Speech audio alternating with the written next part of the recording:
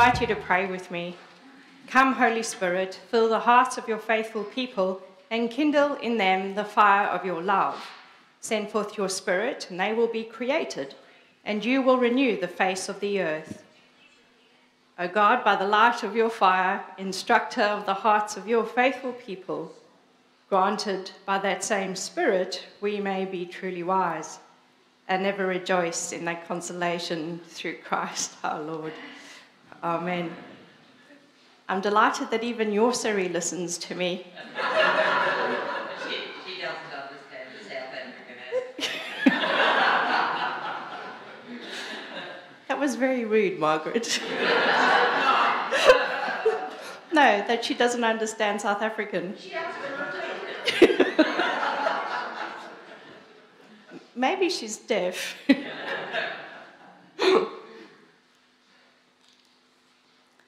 I met a traveller from an antique land who said, Two vast and trunkless legs of stone stand in the desert.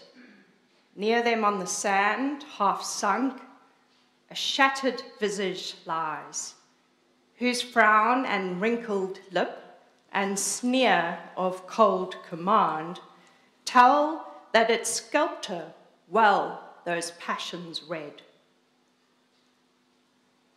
which yet survive, stamped on these lifeless things, the hand that mocked them and the heart that fed.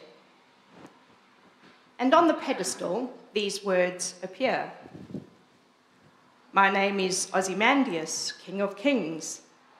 Look on my works, he mighty and despair.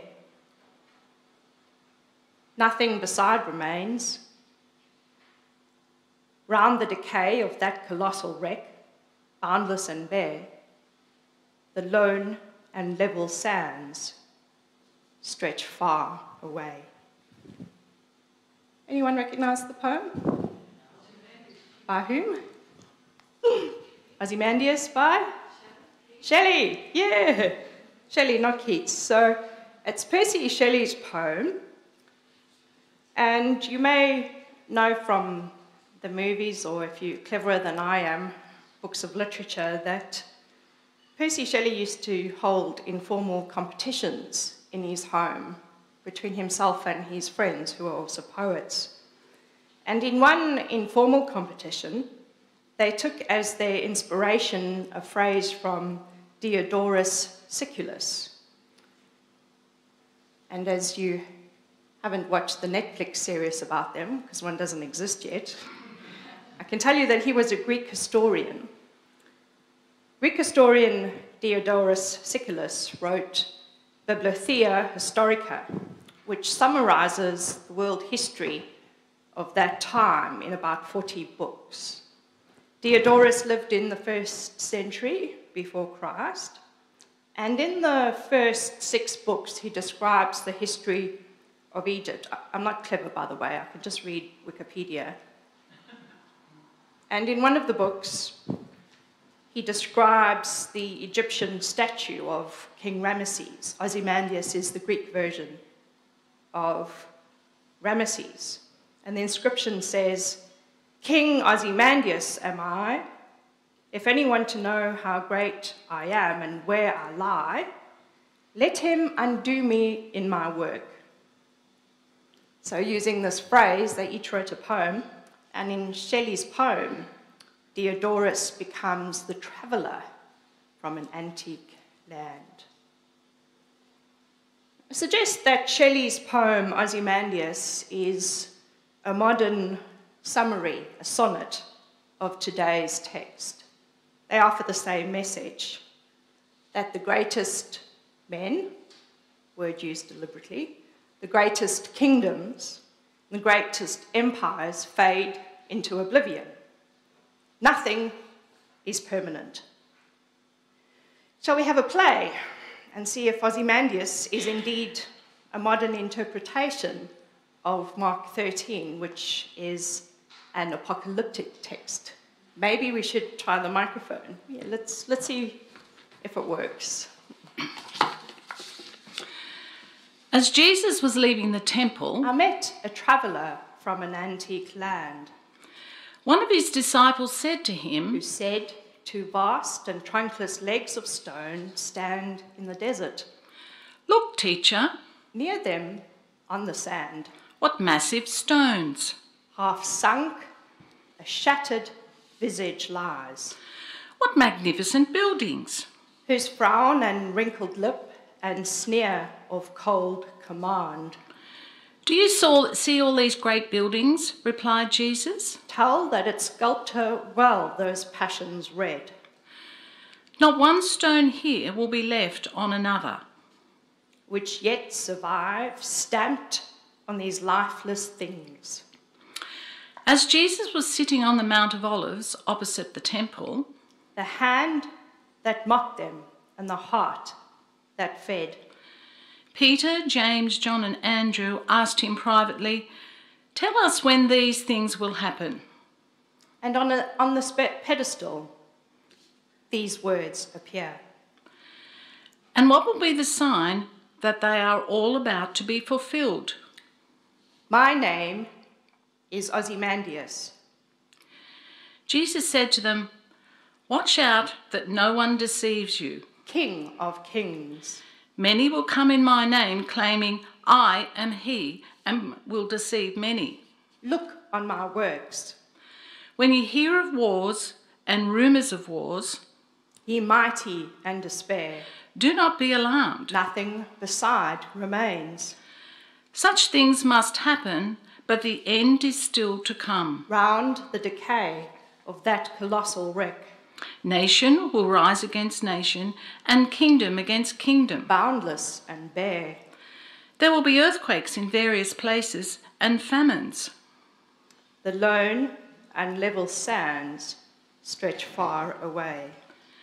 These are the beginning of birth pains. Thank you, Jen.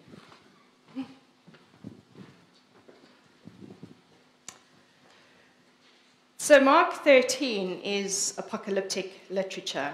Apocalyptic texts are a preacher's worst nightmare because they are hard to explain and distorted in a quagmire of Hollywood horrors, B grade novels, and fundamentalist interpretation.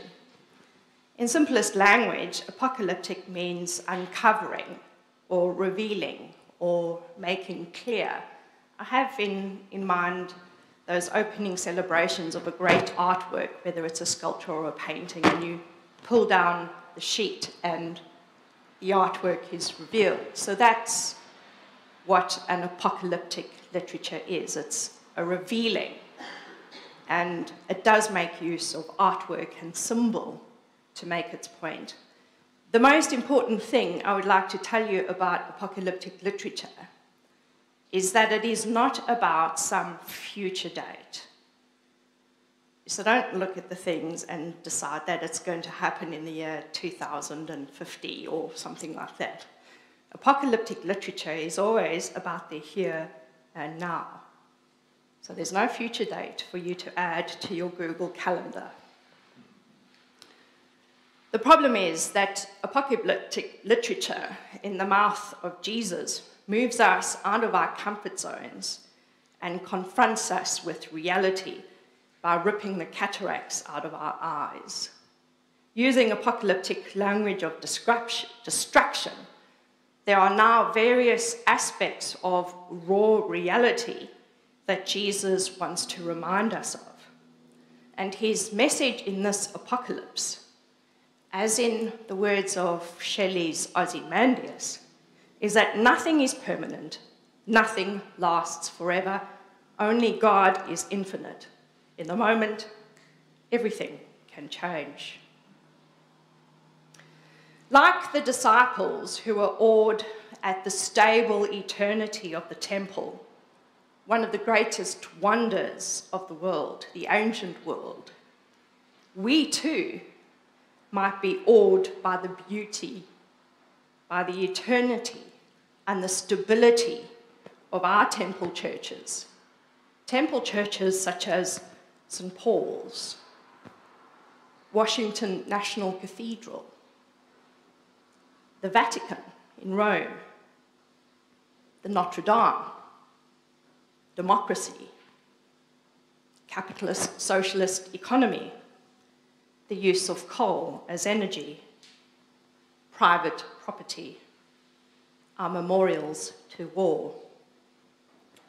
Jesus says it will all be turned to rubble.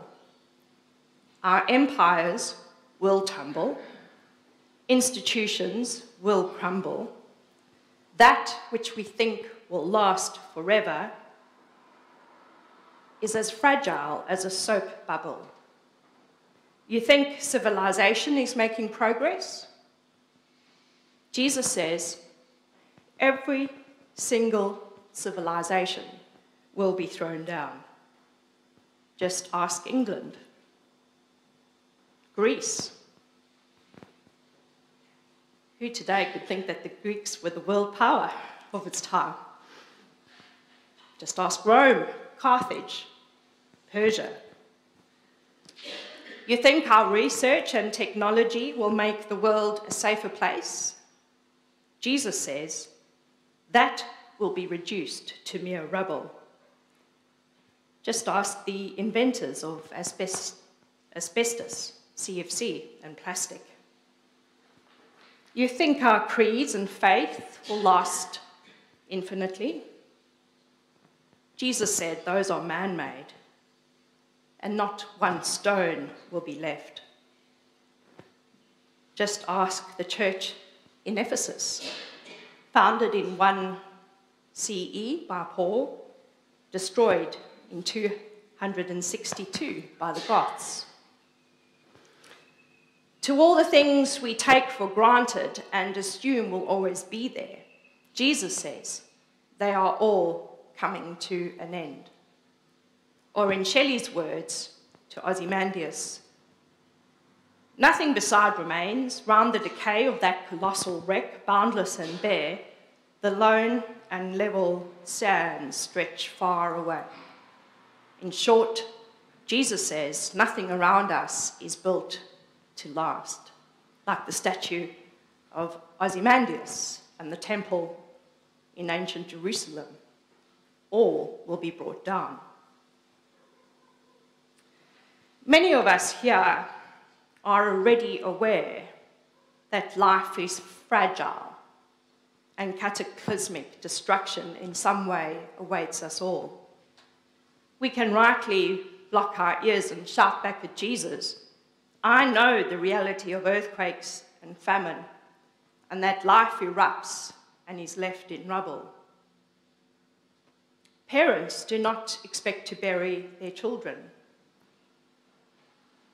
Yet the unexpected death of a much loved child makes you feel that the walls of what you thought were your life tumble down, stone after cataclysmic stone, leaving you shattered. People expect their health to flourish, but an unexpected illness comes like an earthquake and unsettles even the most stable of relationships. People expect to come home from a hard day of work and relax at home, perhaps with a zero alcohol beer in their right hand, and watch some good rugby, like when the South Africans beat the All Blacks. Yet homes are destroyed in fire and flood, and they can destroy your sense of safety and belonging, like the temple was destroyed. People invest in growing their faith, but they learn the hard way that when something is gained, something is also lost. Deeper faith, more education, deeper prayer, growth in God. It does not come as cheerful progress, but rather like walls coming down as what you once believed in is ripped away by new experiences. Now, inability to let go is what will cause misery. I do love the poetry and breeze of good liturgy, and thanks to my regular attendance at a high Anglo Catholic cathedral, many of the ancient collects contained in Cranmer's prayer book have been chanted into the permanent part of my memory. You could wake me up at two in the morning, slap me and throw cold water on me, and I could just spit them out. Cranmer has that way. Unfortunately, while the poetic side of me is lulled into a trance by the beauty of his words, the questioning side of me raises an eyebrow. The evening collect is a good example. Be free to chant, should you wish. Be present, O merciful God, and protect us through the silent hours of this night, so that we who are wearied by, no good Anglicans here, the changes and chances of this fleeting world may rest in your eternal changelessness through Jesus Christ our Lord.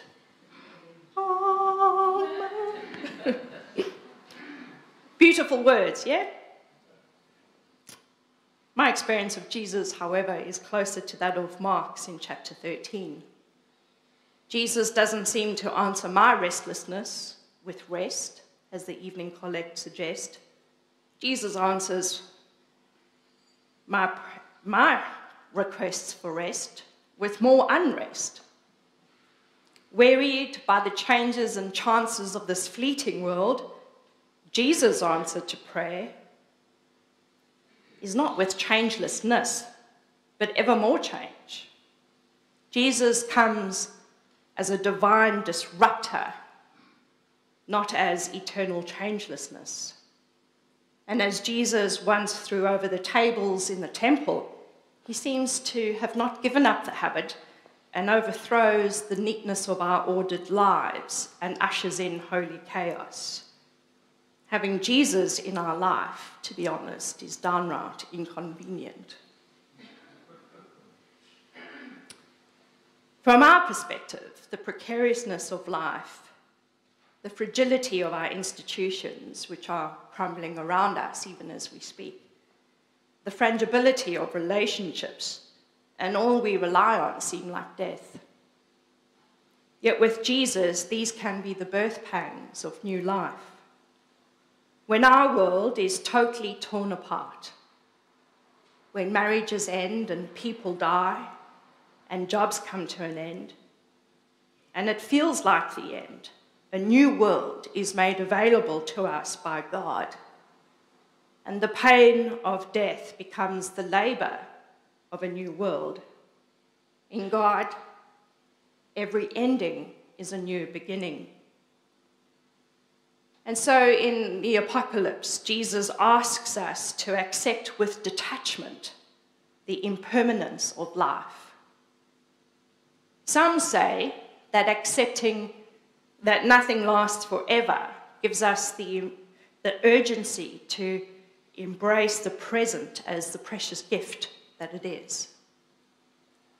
It's nothing like the news of a close one dying to remind you that the people around you and the present moment is a precious gift.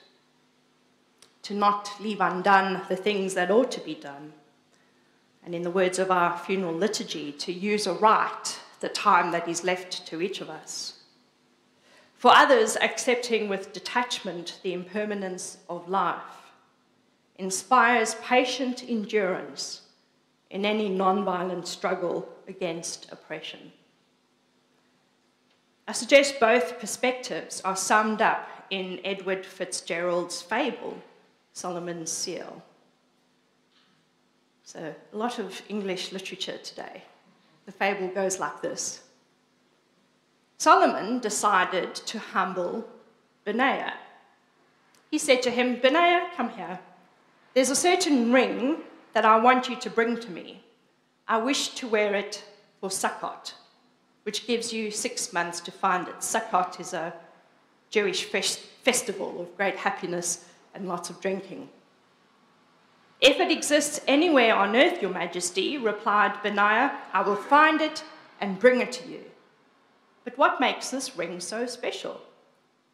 It has magic powers, said King Solomon. If a happy man looks at it, he becomes sad. And if a sad man looks at it, he becomes happy. Solomon knew that no such ring existed in the world, but he wished to give his minister a lesson in humility. Benaiah had no idea where he was going to find such a ring. On the night before Sukkot, in absolute desperation, he decided to take a walk in one of the poorest quarters of Jerusalem. He passed a merchant who had begun to set up the day's wares on a shabby carpet. Have you by any chance heard of a magic ring that makes the happy wearer forget his joy and the broken hearted wearer forget his sorrows? asked Benaiah. He watched the grandfather take a plain gold ring from the carpet and engrave something on it. When Benaiah read the words on the ring, his face broke out in a smile. That night, the entire city welcomed the holiday of Sukkot with great festivity. Well, my friend, said King Solomon, have you found what I sent you after? To everyone's surprise, Benaiah held up the gold ring and declared, Here it is, Your Majesty. As soon as Solomon read the inscription, the smile vanished from his face.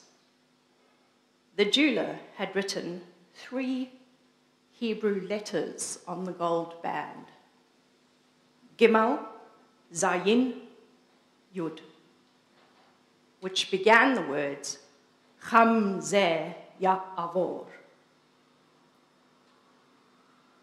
This too shall pass.